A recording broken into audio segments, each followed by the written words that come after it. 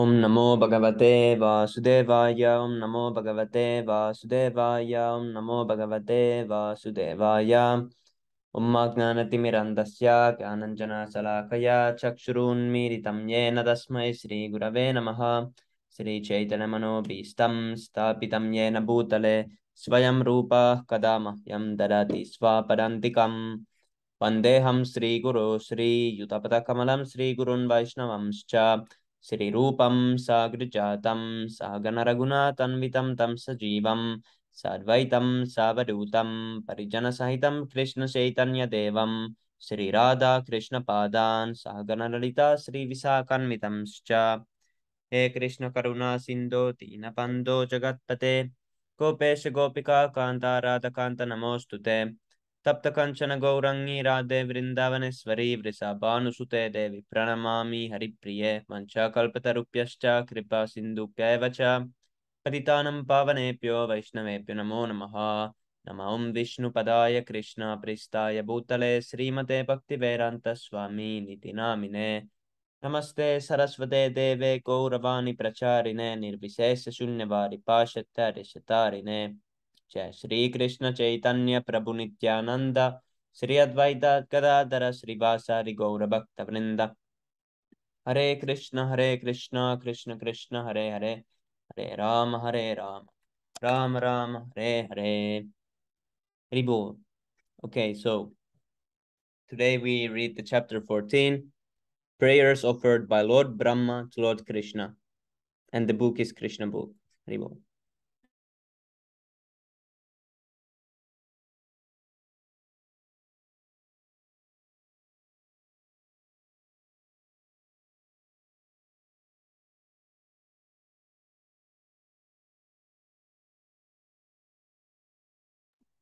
Okay, Hare Krishna.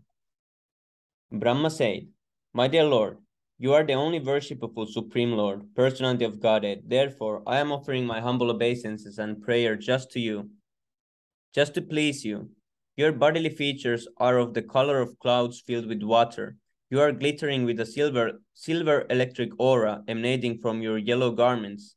Let me offer my respectful repeated obeisances unto the son of Maharaj Nanda, who is standing before me with conch shell earrings and peacock feather on his head. His face is beautiful. He's, wear, he's wearing a helmet garlanded by forest flowers, and he stands with a morsel of food in his hand. He is decorated with cane and bug, bugle, and he carries buffalo horn and flute. He stands before me with small lotus feet. My dear Lord, people may say that I am the master of all Vedic knowledge and I am supposed to be the creator of the universe, but it has been proved now that I cannot understand your personality, even though you are present before me just like a child. You are playing with your boyfriends, calves and cows, which might imply that you do not even have sufficient education. You are appearing just like a village boy carrying your food in your hand and searching for your calves. And yet there is so, so much difference between your body and mine that I cannot estimate the potency of your body. As I have as I have already stated in the Brahma Samhita, your body is not material. In the Brahma Samhita, it is stated that the body of the Lord is all spiritual. There is no difference between the Lord's body and his self. Each limb of his body can perform the actions of all the others. The Lord can see with his hands, he can hear with his eyes, he can accept offerings with his legs, and he, he can create with his mouth.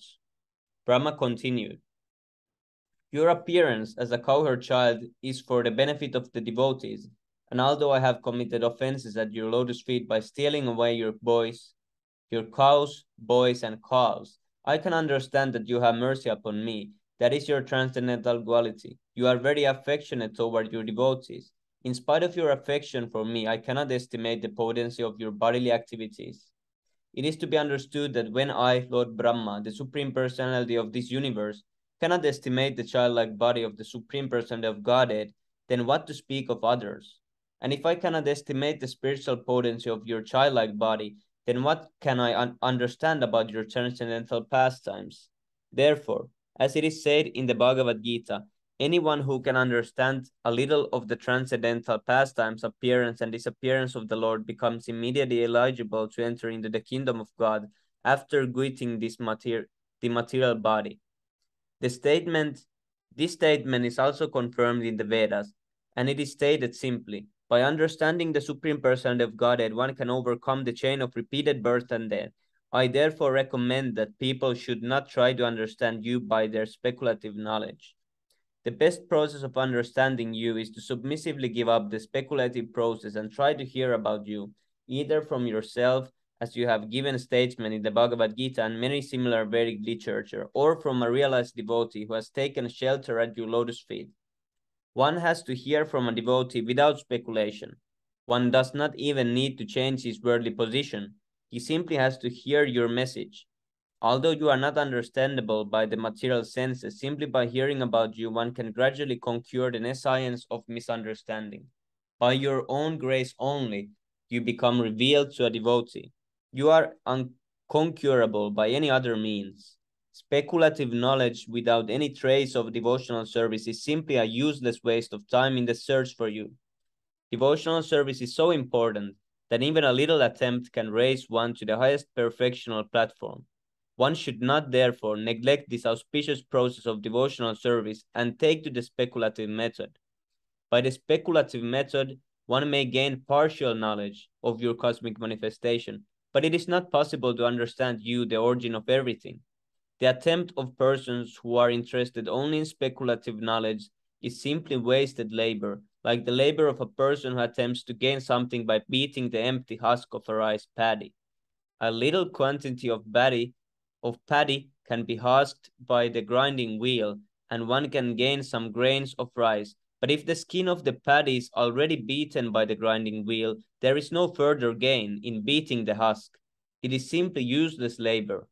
My dear Lord, there are many instances in the history of human society where a person, after failing to achieve the transcendental platform, engaged himself in devotional service with his body, mind, and words, and thus attain the highest perfectional state of entering your abode. The process of understanding you by speculation or mystic meditation are all useless without devotional service. One should therefore engage himself in your devotional service, even in his worldly activities, and one should always keep himself near you, near you by the process of hearing and chanting your transcendental glories. Simply by being attached to hearing and chanting your glories, one can attain the highest perfectional stage and enter into your kingdom. If a person, therefore, always keeps in touch with you by hearing and chanting your glories and offers the result of his work for your, for your satisfaction only, he very easily and happily attains entrance into the supreme abode. You are re realizable by persons who have cleansed their heart of all contamination. This cleansing of the heart is made possible by chanting and hearing the glories of your Lordship. The Lord is all pervading, and it is stated by the Lord Krishna in the Bhagavad Gita everything is sustained by me, but at the same time, I'm not in everything. Since the Lord is all pervading, there is nothing existing without his knowledge. The all pervasive nature of the Supreme Personality of Godhead can never be within the limited knowledge of a living entity. Therefore, a person who has attained steadiness of the mind by fixing the mind on the lotus feet of the Lord is able to understand the Supreme Lord to some extent. It is the business of the mind to wander over various subject matter for sense gratification. Therefore, only a person who engaged the senses always in the service of the Lord can control the mind and be fixed in the lotus feet of the Lord. This concentration of the mind upon the lotus feet of the Lord is called samadhi. Until one reaches the stage of samadhi or trance, he cannot understand the nature of the Supreme Personality of Godhead. There may be some philosophers or scientists who can study the cosmic nature from atom to atom. They may be so advanced that they can count the atomic composition of the cosmic atmosphere for or all the planets and stars in the sky, or even the shining molecular parts of the sun or other stars and luminaries in the sky but it is not possible to count the qualities of the Supreme Person of Godhead. Hare Krishna, Evo. Anyone can continue from there. Hare Krishna. Hare Krishna, Manu Prabhu, Dandat Pranam, Jai Shri Prabhupada. Hare Krishna. Dandat Pranam, Jai Shri Prabhupada. Uh, as described in the beginning of the Vedanta Sutra, the Supreme Person uh, is the origin of all qualities. He's generally called uh, near Nirguna Nirguna means without qualities. Guna means quality, and nir means without. But impersonalists interpret this word as nirguna as having no quality, because they are unable to estimate the qualities of the Lord in transcendental uh, realization. They conclude that the supreme uh, that the supreme Lord has no qualities, but this is actually not the position. The real position is that he is the origin of all uh, original. Um, he is the original source of all qualities. All qualities are emanating constantly from him. How, therefore, can an a limited person count the quality um, qualities of the Lord? One may estimate the qualities of the Lord for one moment, but the next moment the qualities are increased. So it is not possible to make an estimation of the transcendental qualities of the Lord. He is therefore called Nirguna. His qualities cannot be estimated. One should not uselessly labor in material speculation to estimate the Lord's qualities. There's no need of adopting speculative method or exercising the body to attain mystic yoga perfection. One should simply understand that the that the distress and happiness of the body are predestined. There's no need to try to avoid the distress of the of this bodily existence or to attempt to achieve happiness in different types of ex- exercises. The best course is to surrender unto the supreme personality of Godhead with the with body, mind, and words, and always be engaged in His service. Uh, this transcendental labor uh, is fruitful, but other attempts in uh, to understand the absolute truth are never successful. Therefore, an intelligent man does not try to understand the supreme person, absolute truth by speculative or mystic power. Rather, he engages in devotional service and depends on the supreme personality of Godhead. He knows that what uh, that whatever may happen to the body is due to the past excuse me of activities. If if one uh, lives if one lives a simple life in devotional service, then automatically he can inherit the transcendental abode of the Lord. Actually, every living entity is part and parcel of the Supreme Lord and the Son of uh, and the Son of Godhead. Each has the the natural right to inherit and share the transcendental pleasures of the Lord, but do um but due to the contact of matter uh, of matter, conditioned living entities have been um, practically uh, disinherited. If one adopted, uh, adopts the simple method of engaging himself in devotional service, automatically he becomes eligible to become to become freed from the material contamination, now and elevated to the transcendental position of associating with the Supreme Lord. Lord Brahma presents himself to, to Lord Krishna as the most um, presumptuous living entity, uh, living creatures, because he wanted to examine uh, the wonder of his personal power. He stole the boys and calves of the Lord in order to see how the Lord will recover them. After his maneuver, Lord Brahma admitted that his attempt was most presumptuous, for he was attempting to test uh, his energy before the person of the original energy. Uh, coming to his senses, Lord Brahma saw that although he was a very powerful living entity in the estimation of all living entities within the material world, and in comparison to the power, uh, power and energy of the Supreme Personality of Godhead, uh, his power was nothing. Scientists of the material world have discovered wonders such as atomic weapons, weapons, and and when tested in a city or or insignificant place on the planet, such powerful weapons create so so-called havoc. But if the atomic we- weapons are tested on the sun, this is what is their significance? they're they are so insignificant there. Similarly, Brahma stealing the cows and the boys from Sri Krishna may be a wonderful display of mystic power, but when Krishna exhibited his expansive power in so many calves and cowboy uh, and calves and boys, uh, and maintained them without effort, Brahma could understand that his own power was in- insignificant. Hare Krishna. Hare Krishna. Brahma addressed Lord Krishna as Achyuta because the Lord is never forgetful of a little service rendered by his devotee. He is so kind and affectionate towards his devotee that a little service by them is accepted by him as a great deal. Brahma has certainly rendered much service to the Lord. As the Supreme Personality in charge of this particular universe, he is without a doubt a faithful servant of Krishna. Therefore, he could, uh, he could appease Krishna. He is asked that the Lord understand him as a subordinate servant whose little mistake and impudence might be ex- excused.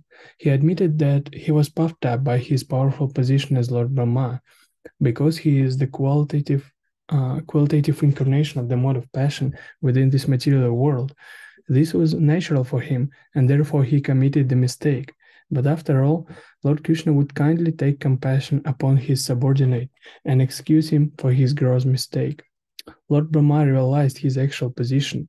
He is certainly the supreme teacher of this universe, in charge of the production of material nature. Uh, consisting of complete material elements false ego, sky, air, fire, water, and earth.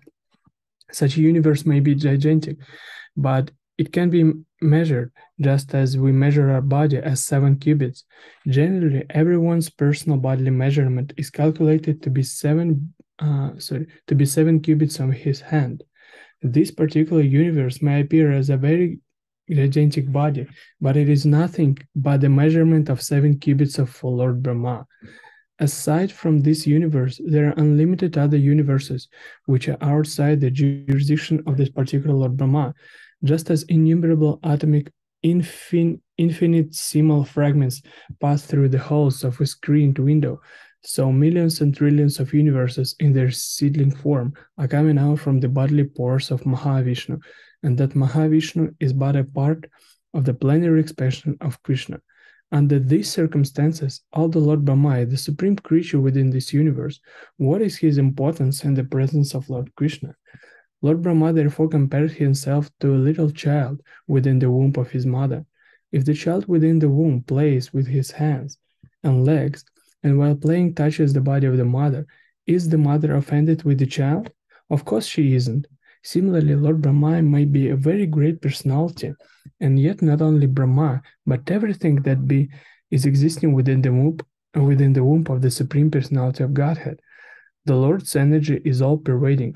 There is no place in the creation where it is not acting. Everything is existing within the energy of the Lord.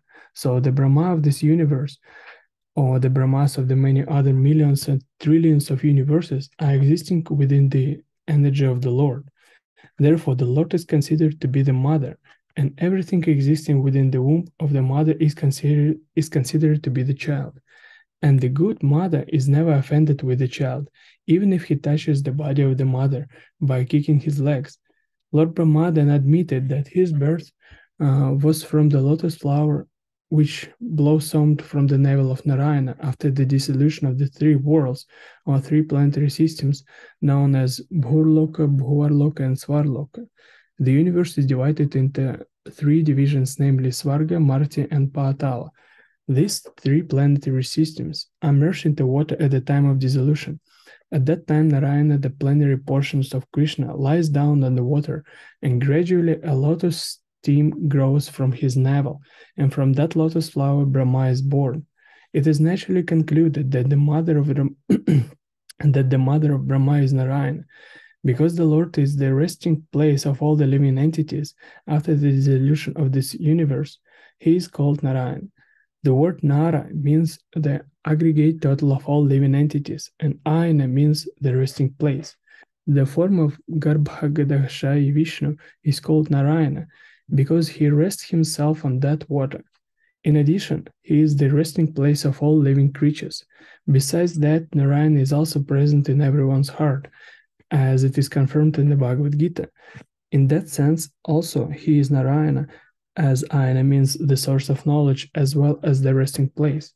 It is also confirmed in the Bhagavad Gita that remembrance of the living entity is due to the presence of the super soul within the heart. After changing the body, a living creature forgets everything of his past life, past life. But because Narayana, the super soul, is present within the heart, within the within his heart, he is reminded by him to act according to his past desire. Lord Brahma wanted to prove that Krishna is the original Narayana, that he is the source of Narayana, and that Narayana is not an exhibition of the external energy, Maya, but is an expansion of spiritual energy. The activities of the external energy on Maya are exhibited after the creation of this cosmic world, and the original spiritual energy of Narayana was acting before the creation. So the so the expansions of Narayana from Krishna to Garbhodakashayi Vishnu, from Garbhodakashayi Vishnu to Kshirodakashayi Vishnu, and from Kshirodakashayi Vishnu to everyone's heart are manifestation of his spiritual energy. They are not conducted by the material energy, therefore they are not temporary. Anything conducted by the material energy is temporary, but everything executed by the spiritual energy is eternal. Haribol. Hare Krishna. Lord Brahma reconfirmed his statement, establishing Krishna as the original Narayana. He said that the gigantic universal body is still resting on the water known as Garbhodaka. He spoke as follows This gigantic body of the universe is another manifestation of your energy. On account of its resting on the water, this universal form is also Narayana. And we are all within the womb of this Narayana form. I see your different Narayana forms everywhere. I can see you on the water. I can feel you within my heart, and I can also see you before me now. You are the original Narayana. My dear Lord, in this incarnation, you have proved that you are the supreme controller of Maya. You remain within the cosmic manifestation, and yet the whole creation is within you.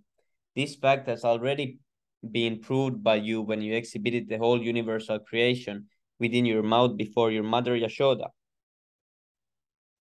By your inconceivable potency of Yoga Maya, you can make such things effective without external help.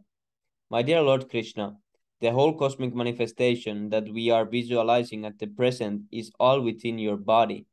Yet I am seeing you outside and you are also seeing me outside. How can such things happen without being influenced by your inconceivable energy?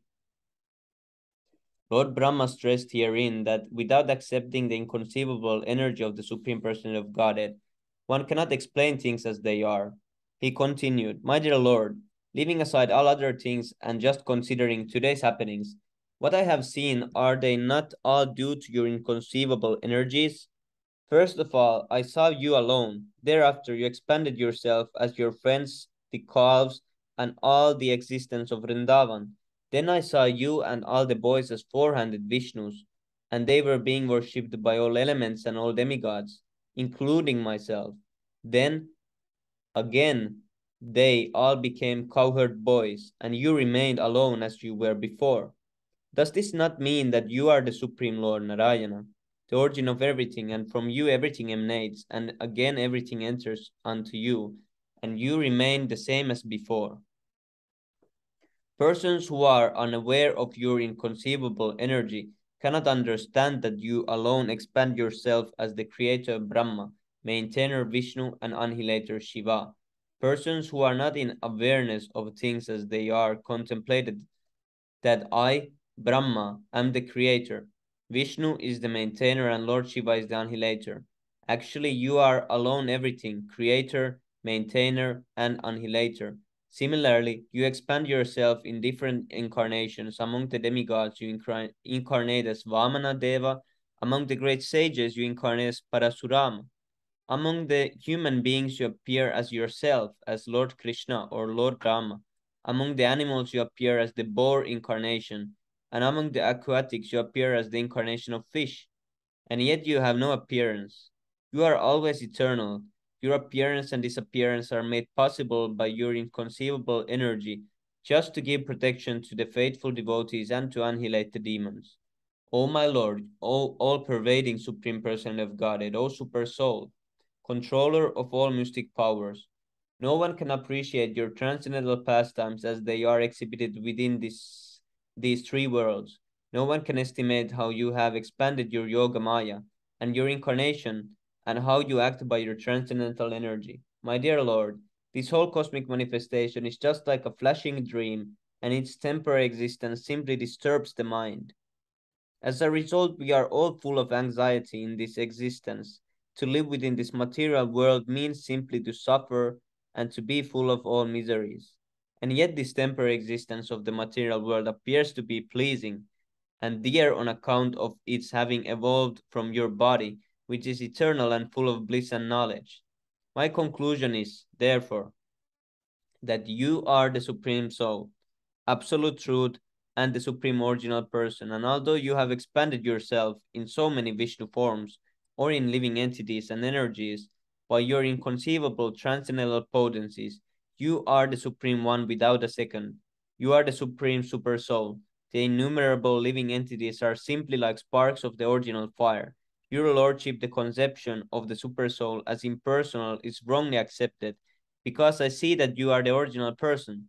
A person with a poor fund of knowledge may think that because you are the son of Maharaj Nanda, you are not the original person, that you are born just like a human being. They are mistaken. You are the actual original person. That is my conclusion. In spite of you being the son of Nanda, you are the original person and there is no doubt about it. You are the absolute truth and you are not of this material darkness. You are the source of the original Brahma Jyoti as well as the material luminaries. Your transcendental effulgence is identical with Brahma Jyoti. As it is described in the Brahma Samhita, the Brahma Jyoti is nothing but your personal bodily effulgence. There are many Vishnu incarnations and incarnations of your different qualities, but all those incarnations are not on the same level. You are the original lamp, other incarnations may possess the same candle power as the original lamp, but the original lamp is the beginning of all lights. And because you are not one of the creations of this material world, even after the annihilation of this world, your existence as you are will continue. Because you are the original person, you are therefore described in the Gop Gopala Tapani, the Vedic Upanishad, as well as in the Brahma Samhita as Govindam Adipurusham. Govinda is the original person, the cause of all causes. In the Bhagavad Gita also it is stated that you are the source of the Brahman effulgence. No one should conclude that your body is like an ordinary material body. Your body is akshara, indestructible. The material body is always full of threefold miseries, but your body is Sachidananda Vigraha, full of being, bliss, knowledge, and eternality. You are also Niranjana, because your pastimes at, as the little son of Mother Yashoda or the Lord of the Gopis are never contaminated by the material qualities. And although you exhibited yourself in so many cowherd boys, calves, and cows, your, trans your transcendental potency is not reduced. You are always complete, as it is stated, as it is described in the Vedic literature. Even if the complete is taken away from the complete, supreme absolute truth, it yet remains the complete, supreme absolute truth. And although many expansions from the complete are visible, the complete is one without a second. Since all your pastimes are spiritual, there is no possibility of their being contaminated by the material modes of nature. When you place yourself subordinate to, the, to your father and mother, Nanda and Yashoda, you are not reduced in your potency. This is an expression of your loving attitude for your devotees. There is no other competitor of second identity, second identity than yourself. A person with a poor fund of knowledge concludes that your pastimes and appearance are simply material designations. You are transcendental to both to both the science and knowledge, as it is confirmed in the Gopalatapani. You are the original Amrita, nectar of immortality, indestructible, as it is confirmed in the Vedas, Amritam Sashvatam Brahme, Brahme. Brahman is the eternal, the supreme origin of everything, who has no birth or death. Hare Krishna.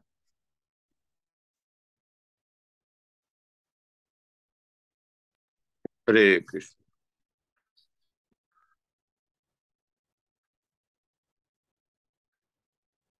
In the Upanishads, it is stated that the Supreme Brahman is the effulgence as the sun, as the sun and the origin of everything. And anyone who can understand that the original person becomes liberated from the material condition of life.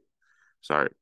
Uh, and anyone who can understand that the original person becomes liberated from the material condition life. Anyone who can simply be, um, be attached to you by devotional service can know your actual position, your birth, appearance, disappearance, and activities, as confirmed in excuse me, Bhagavad Gita, simply by understanding your constitutional position, appearance, appearance, and disappearance, one can be one can one can be immediately in, elevated to the spiritual kingdom after quitting this present. Lord Brahmanda, Swan, evil. Sing Krishna. Uh, with his cowherd friends, Lord Brahma uh, decided to play a trick. that was his last trick.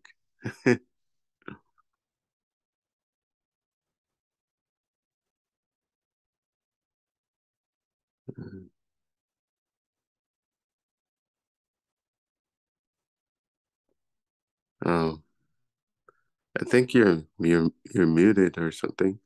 Krishna always uh, demanded Mother Yashoda uh, complete attention.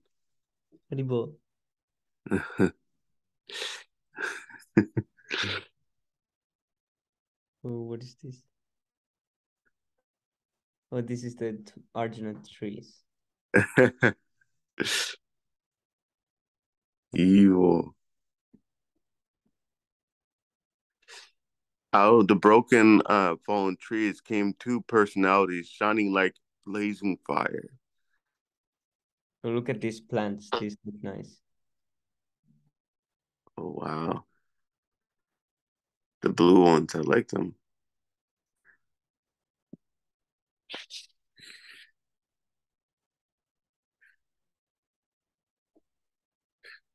Mm-hmm. Oh, it's this one? Mm. With tumultuous sounds, they started uh, for Vrindavan. Oh, when they're moving to Vrindavan. Evil.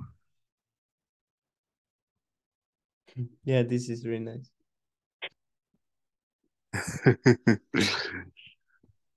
I'm offering my humble obeisances and prayers just to please you. Yes, look at Krishna. He's like, who is this tall man? He's like, who this tall man came with? Who? He has forehead. Yeah. And the small tiger uh, is just taking a rest out there. Yes. He's like, oh, Krishna is there. Oh, this flower is nice also. Oh wow. I didn't No, notice today- that. You have good eyes. Today I found a a bird. Today I found a, Uh. really interesting bird. Do you know this bird? What what bird, Prabhu? You know this color. This is so nice color. This is my favorite color. Oh, color. I thought you said I found a bird. I was like, oh, Yes, what, what kind of bird? Yes, look look at this bird. Ah. It it looked it had that kind of color, huh? Yeah, look at his feet. Oh wow. Mm, I was um, Yeah, today I saw first time this bird. I was like, what is this bird? looks like a pigeon. Is the feet are really nice. A blue feet bird. Wow.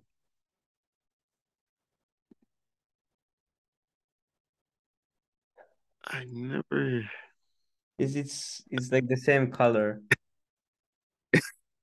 if it if anyone told me about a bird with blue feet, I would be like, okay, all right, that's fine. But it's there. Yesterday I saw it first time and I was like, what is this? Yes, they walk in funny way also, like this.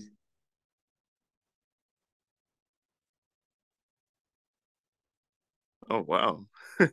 He's like doing a model for us. yes, bro.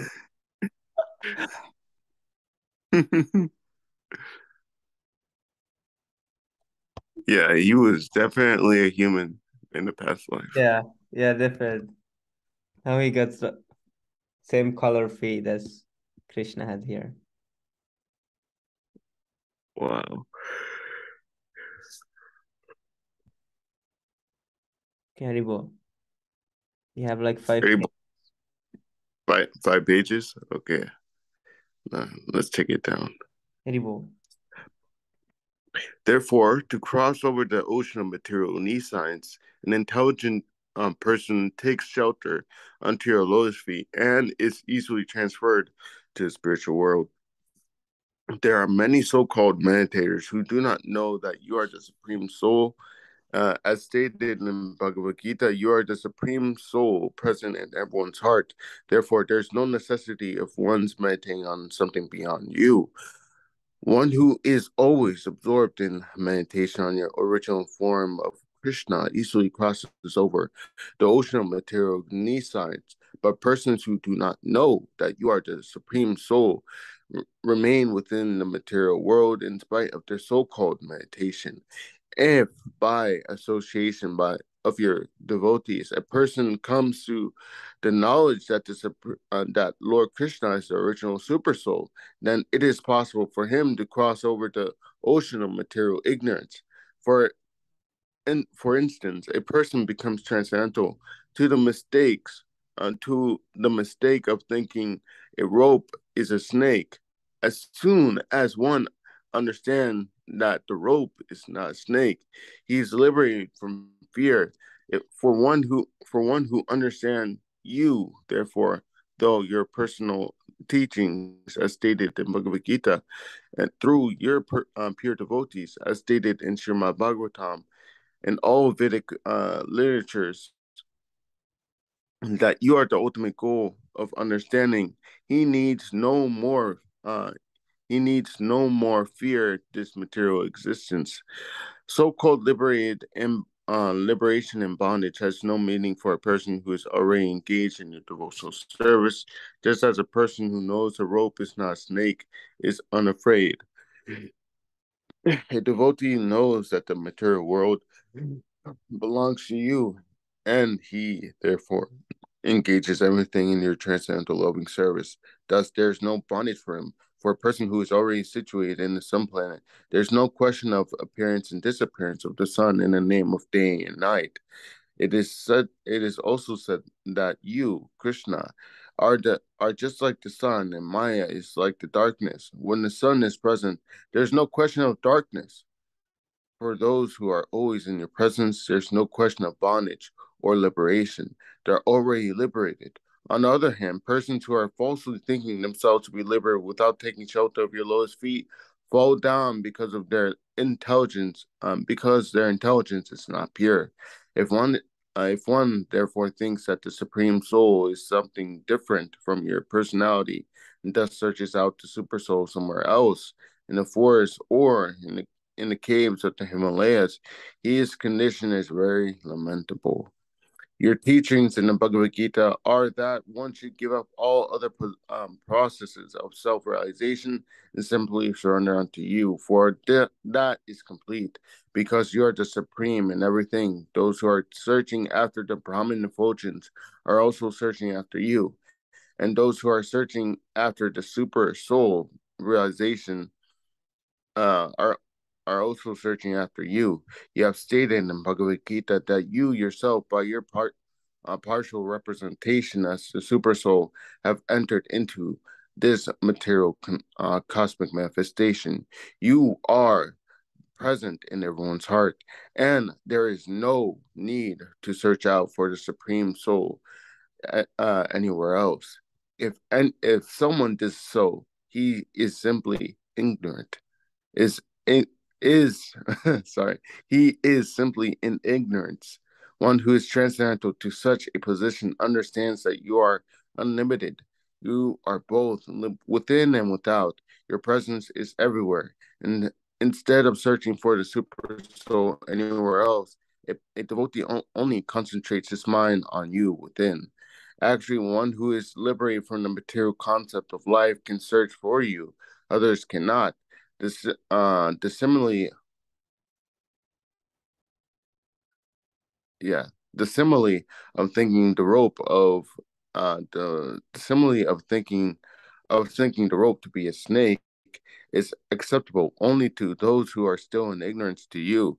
Actually, the existence of a snake besides the rope is only within the mind. The existence of Maya, similarly, is also within the mind. Maya is nothing but ignorance of your personality. When one forgets your personality, that is the conditioned state of Maya. Therefore, one who is fixed upon you, both internally and externally, is not illusioned. Hare Krishna. Mm. Very well. One who has attained a little devotional service can understand your glories. Even one striving for Brahman realization or Paramatma realization cannot understand the different features of your personality unless he treads the devotional path.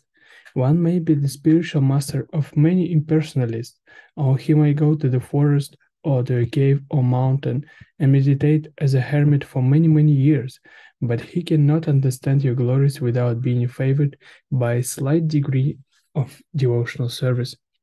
Brahman realization or Paramatma realization are also not possible even after one searches for many, many years unless one is touched by the wonderful effect of a devotional service. My dear Lord, I pray that I may be so fortunate that in this life or in another life, wherever I may take my birth, I may be counted as one of your devotees. wherever I may be, I pray that I may be engaged in your devotional service. I do not even care what form of life I can I get in the future because I can see that even in the form of cows and calves or cowherd boys, the devotees are so fortunate to be always engaged in your transcendental loving service and association. Therefore, I wish to be, uh, therefore I wish to be one of them instead of such an exalted person as I am now, for I am full of ignorance. The gopis and cows of Vrindavan are so fortunate that they have been able to supply their breast milk to you persons who are engaged in performing great, great sacrifices and offering and offering many valuable goats in the sacrifice cannot attain the perfection of understanding you, but simply by devotional service. These innocent village women and cows are all able to satisfy you with their milk. You have drunk their milk to satisfaction, yet you are never satisfied by those engaged in performing sacrifices. I'm simply, I'm simply surprised, therefore, with the fortunate position of Maharaj Nanda, Mother Yashoda, and the cowherd men and gopis, because you, the Supreme Personality of Godhead, the Absolute Truth, are existing here as their most intimate, lovable object. My dear Lord, no one, uh, sorry, my dear Lord, no, no one can actually appreciate the good fortune of these residents of Vrindavan. We're all we're all demigods controlling deities of the various senses of the living entities, and we are proud of enjoying such privileges. But actually, there is no comparison between our position and the position of these fortunate residents of Vrindavan, because they are actually relishing your presence and enjoying your association by dint of their activities. We may be proud of being controllers of the senses, but here the residents of Vrindavan are so transcendental that they are not under our, our control. Actually, they are enjoying the senses through service to you. I shall therefore consider myself fortunate to be given the chance to take birth in this land of Vrindavan in any of my future lives. My dear Lord, I am therefore no, not interested in either material opulences or, or liberation. I am most humbly praying at your lotus feet for you to please give me any sort of birth within this Vrindavana forest, so that I may be able to be favored by the dust of the feet of some of the devotees of Vrindavana. Even if I am given the chance to grow just as a humble grass in this land, that will be a glorious birth for me. But if I am not so fortunate to take birth within the forest of Vrindavan, I beg to be allowed to take birth outside the immediate the immediate area of Vrindavan, so that they, when the devotees go out, they will walk over me. Even that would be a great fortune for me. I am just aspiring for a birth in which I will be smeared by the dust of the devotee's feet. I can see that everyone here is simply full of Krishna consciousness. They do not know anything but Mukunda. All the Vedas are indeed searching after the lotus feet of Krishna. It is confirmed in the Bhagavad Gita that the purpose of Vedic knowledge is to find Krishna. And it is said in the Brahma Samhita that it is very difficult to find Krishna, the Supreme Personality of Godhead, by systematic reading, reading of the Vedic literature.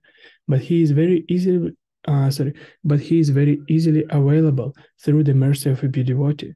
The pure devotees of Vrindavana are fortunate because they can see Mukunda, Lord Krishna, all the time. This word, Mukunda, can be understood in two ways. Muk means liberation. Lord Krishna can give liberation and therefore transcendental bliss. The word also refers to his smiling face, which is just like the kunda flower. Mukha also means face. the kunda flower is very beautiful and it appears to be smiling. Thus, the comparison is made. Ribol. Wow. I gotta look up that flower. The flower.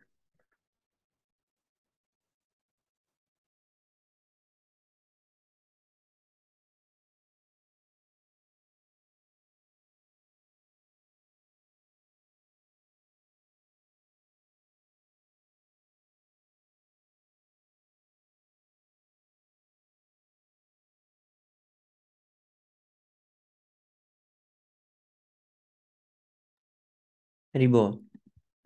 The difference between the pure devotees of Vrindavan and other devotees is that the, the, that the residents of Vrindavan have no other desire but to be associated with Krishna. Krishna, being very kind to his devotees, fulfills their desire.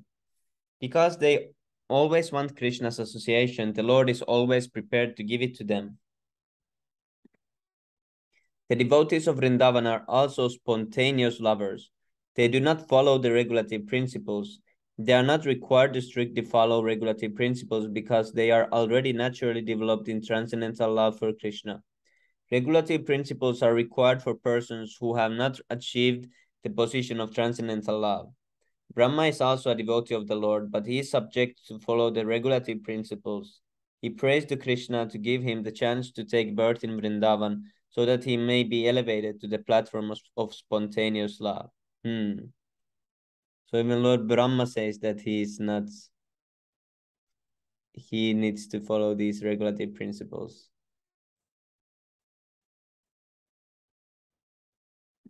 And he, he Yeah, he doesn't. Yeah, he just didn't artificially move to Vrindavan in his Brahma life, but he prayed that in the future he imagine if Brahma was like, oh, now I'm moving to Vrindavan. he left all the things and went Krishna covered voice to play. Yeah.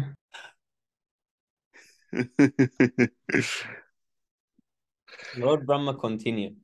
My lord, sometimes I'm puzzled as to how your lordship will be able to repay in gratitude the devotional service of these residents of Vrindavan. Although I know that you are the supreme source of all benediction, I am puzzled to know how you will be able to repay all the service that you are receiving from these residents of Vrindavan. I think of how you are so kind, so magnanimous, that even Putana, who came to cheat you by your by you by dressing herself as a very affectionate mother, was awarded liberation and the actual post of a mother. And other demons belonging to the same family, such as Aghasura and Bakasura, were also favored with liberation. Under the same circumstances, I am puzzled. These residents of Vrindavan have given you everything their bodies, their minds, their love, their homes. Everything is being utilized for your purpose. So, how will you be able to repay their debt? You have already given yourself to Putana. I surmise that you shall ever remain a de debtor to the residents of Vrindavan. Being unable to repay their loving service, my dear Lord, I can, my Lord, I can understand that the super excellent service of the residents of Vrindavan is due to their spontaneously engaging all, all natural instincts in your service. It is said that attachment for material objects and home is due to illusion which makes a living entity conditioned in the material world. But it is only the case for persons who are not in Krishna consciousness. In the case of the residents of Vrindavan, such obstructions as attachment to heart and home are non-existent because their attachment has been co converted unto you and their homes have been converted converted into a temple. Because you are always there and because they have forgotten everything for your sake there is no impediment.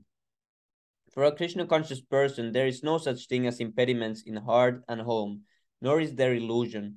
I can also understand that your appearance as a small cowherd boy a child of the cowherd man is not at all material activity. You are so much obliged obliged to their by their affection that you have you are here to enthuse them with more loving service by your transcendental presence. In Vrindavan, there is no distinction between material and spiritual, because everything is dedicated to your loving service. My dear Lord, your Vrindavan pastimes are simply to enthuse your devotees. I am if someone takes your Vrindavan pastimes to be material, he will be misled. My dear Lord Krishna, those who deride you, claiming that you have a material body like an ordinary man, are described in the Bhagavad Gita as demonic and less intelligent. You are always transcendental. The non-devotees are cheated because they consider you to be a material creation. Actually, you have the you have assumed this body, which resembles that of an ordinary cowherd boy, simply to increase the devotion and transcendental bliss of your devotees. My dear Lord, I have nothing to say about people who advertise that they have already realized God or that by their realization they have themselves become God. But, but as far as I'm concerned, I admit frankly that for me it is not possible to realize you by my body, mind, or speeches. What can I say about you or how, how can I realize you by my senses? I cannot even think of you perfectly with, with my mind, which is the master of the senses. Your qualities, your activities, and your body cannot be conceived by any person within this material world. Only by your mercy can one understand to some extent what you are. My dear Lord, you are the supreme lords of all creation. Although I sometimes falsely think that I am the master of this universe, I may be master of this universe, but there are innumerable universes, and there are innumerable Brahmas also who preside over these universes. But actually, you are the master of, of them all. As the super soul in everyone's heart, you know everything. Please, therefore, accept me as your surrendered servant. I hope that you will excuse me for disturbing you in your pastimes with your friends and calves. Now, if you will kindly allow me, I will immediately leave so you can enjoy your friends and calves without my presence. Brahma was running away fast. you will. My dear Lord Krishna, your very name suggests that you are all attractive. The attraction of the sun and the moon are all due to you. By the attraction of the sun, you are beautifying the very existence of the Yadu dynasty. With the attraction of the moon, you are enhancing the potency of the land, the demigods, the brahmanas, the cows, and the oceans. Because of your supreme attraction, demons like Kamsa and demons like Demons like Kamsa and others are annihilated. Therefore, it is my deliberate conclusion that you are the only worshipable deity within the creation. Accept my humble obeisances until the annihilation of this material world. As long as there is sunshine within this material world, kindly accept my humble obeisances. In this way, Brahma, the master of this universe, after offering humble and respectful obeisances unto the Supreme Person of Godhead and circumambulating circumambulating him three times, was ready to return to his abode known as Brahmaloka. By his gesture, the Supreme Person of Godhead gave him permission to return. As soon as Brahma left, Lord Sri Krishna, Krishna immediately appeared as he had on the very day the cows and cowherd boys had vanished. Hmm. Krishna had left his friends on the bank of the Yamuna while they were engaged in lunch and although he returned exactly one year later, the cowherd boys thought that he had returned within a second. That is the way of Krishna's different energies and activities. It is stated in the Bhagavad Gita that Krishna himself is residing in everyone's heart and he causes both he causes both remembrance and forgetfulness. All living entities are controlled by the supreme energy of the of the Lord and sometimes they remember and sometimes they forget their constitutional position. His friend, being controlled in such a way, could not understand that for one whole year they were absent from the Yamuna bank and were under the spell of Brahma's illusion. When Krishna appeared before the boys, they thought, Krishna has returned within a minute. They began to laugh, thinking that Krishna was not willing to leave their lunchtime company. they were very jubilant and invited him. Dear friend Krishna, you have come back so quickly. All right, we have not uh, as yet begun our lunch, not even taken one morsel of food. So please come and join us and let us eat together. yeah, they were one year there. Krishna smiled and accepted their invitation, and he began to enjoy the lunchtime company of his friends while eating. Krishna was thinking, These boys believe that I have come back within a second, but they do not know that for the last year I have been involved with the mystic activities of Lord Brahma.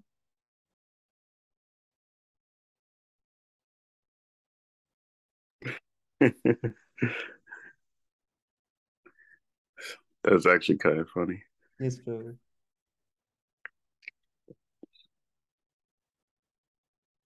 Just like this, we are also away from Vrindavan. And for us, many years pass, but in there, it's like second.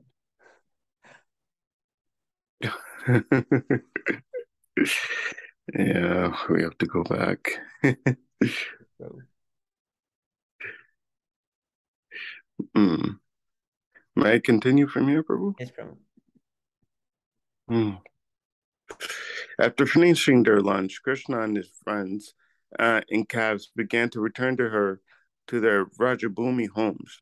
While passing, they enjoyed seeing the dead uh, carcass of Aghasur in the shape of a giant, uh, gigantic serpent. When Krishna returned home to Vrajabhumi, uh, he was seen by all the inhabitants of Vrindavana. He was wearing a peacock feather on his helmet, uh, which was also decorated with uh, forest flowers. Krishna was also was also garlanded with flowers and painted with different kinds of min- uh, minerals collected um, from the caves of Govardhana Hill. Govardhana Hill was always famous for supplying natural uh, red dyes, and Krishna and his friends painted their bodies with them. Each of them had a a bugle made out of buffalo horn, and a stick and a flute, and each uh, called to his re- respective calves by their particular names. Uh, they were so proud of Krishna's uh, wonderful activities that while entering the village, they uh, they all sang his glories. All the gopis in Vrindavana saw that saw uh, be- all the gopis in Vrindavana saw beautiful Krishna entering the village. The boys composed uh, nice songs describing how they were saved from this, um, saved from being swallowed by the great serpent, and how the serpent was killed. Some described Krishna as the son of uh, Yashoda, and the others as the son of Nanda Maharaj. He is so wonderful that he saved us from the clutches of the great serpent and killed him they said. But the um, but little did they know that once um, one year had passed since killing the killing Aghasura. In this regard, Maharaj Parikshit and Sukadeva Goswami, uh, how the inhabitants. Oh, sorry. In this regard, Maharaj Parikshit asked um, Sukadeva Goswami how the inhabitants of Vrindavana suddenly developed so much love for Krishna, although Krishna was not a, a member of any of their family families. Maharaj Parikshit inquired uh, during the absence of the original cowherd boys. When Krishna expanded on himself, why is it that the boys' parents became more loving towards him than the, their own sons? Why uh, also why did the cow uh, cows became become so loving towards the calves more than their their own calves? Sukadeva Goswami told Maharaj Parikshit that every living entity is actually the most uh, most attached to its own self.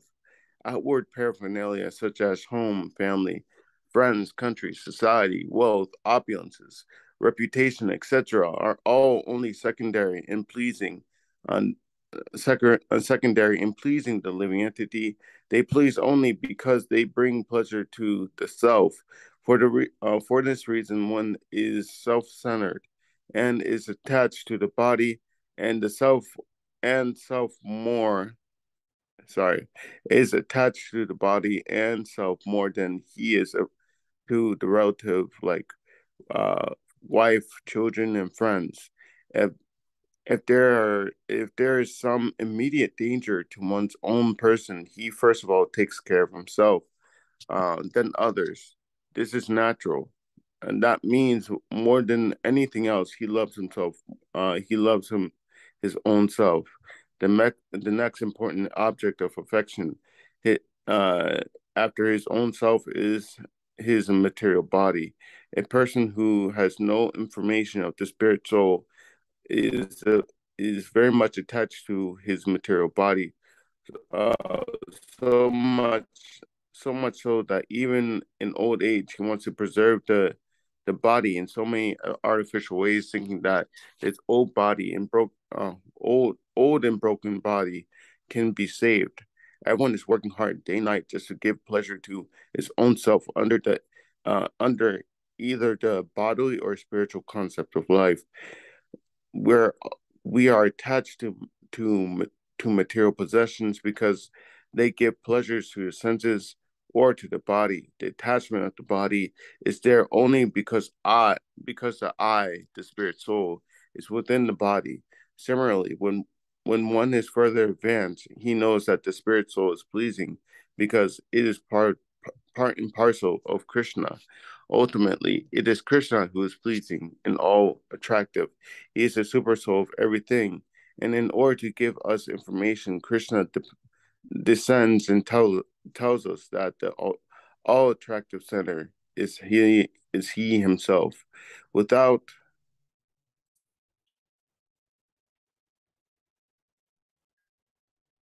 mm, without being an expansion of Krishna, nothing can be attractive. Uh, whatever uh, whatever is attractive within the cosmic manifestation is due to Krishna. Krishna is therefore the reservoir of all pleasure.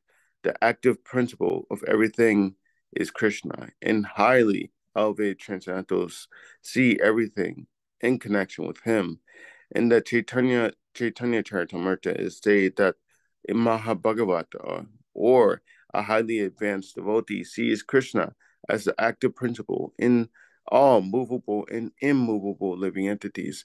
Therefore, he sees everything within the cosmic manifestation and relate in relation to Krishna. For for the fortunate person who has taken shelter of Krishna as everything, liberation is already there. He has known uh, he is no longer in the material world. There's this is also confirmed in Bhagavad Gita uh, whoever is engaged in devotional service of Krishna is already in the um, Brahmabhuta or spiritual platform. The very uh, the very name Krishna suggests piety and liberation. Anyone who takes shelter of the lotus feet of Krishna enters the boat of for crossing the ocean of material nescience for him. Uh, for sorry, crossing over the ocean of material of nescience. For him, this vast expansion of the material manifestation becomes as insignificant as a hoofprint. Krishna is the center of all great souls. He is the shelter of the material worlds. For, for one who is in, on the platform of Krishna consciousness, Vaikuntha, or the spiritual world, is not uh, it's not far away. He does not live within the material world, um, where there's danger at every step. In this way, Krishna consciousness was fully ex- explained by Sukadeva Goswami. Sukadeva Goswami even recited to the king the statements and prayers of Lord Brahma. These descriptions of Lord Krishna's pastimes with his cowherd boys, uh, uh, his eating with them, and on the bank of Yamuna, and Lord Brahma's prayer unto him all transcendental subject matters. Anyone who hears, recites, or chants them surely gets uh, all his spiritual desires fulfilled. Thus, Krishna's childhood past uh, childhood appearance, his his boarding in Balaram in Vrindavana was described. Thus ends the Bhaktivedanta purport of the 14th chapter of Krishna. Prayers offered by Lord Brahma to Lord Krishna. Hare Krishna. Oh. Evil. Haribol.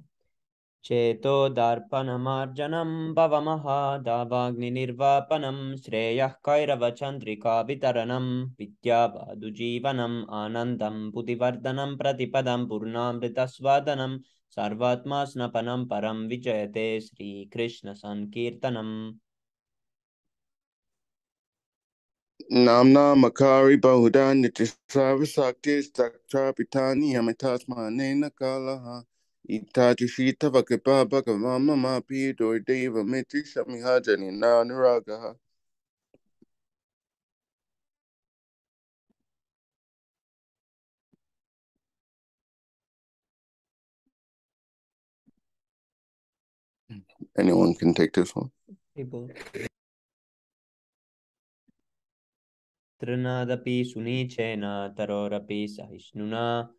अमानीना मानदेन कीर्तनीया सदा हरि न धनं न जनं न सुन्दरीं कवितां वा जगदीश कामये मम जन्मनि जन्मनीश्वरे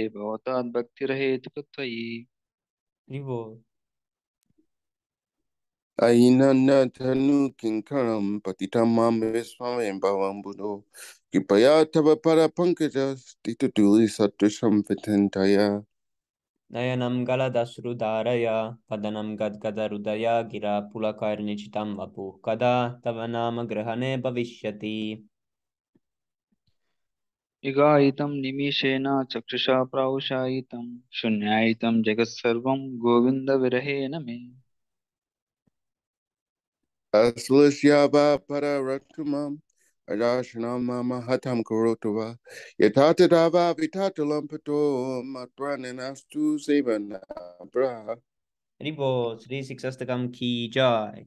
पंचतत्व की जय नित्यानंद प्रभु की जय श्री कृष्ण चैतन्य महाप्रभु की जय जगत गुरु शिला भक्ति प्रपात की जय जय गौर प्रेम हरि हरि बोल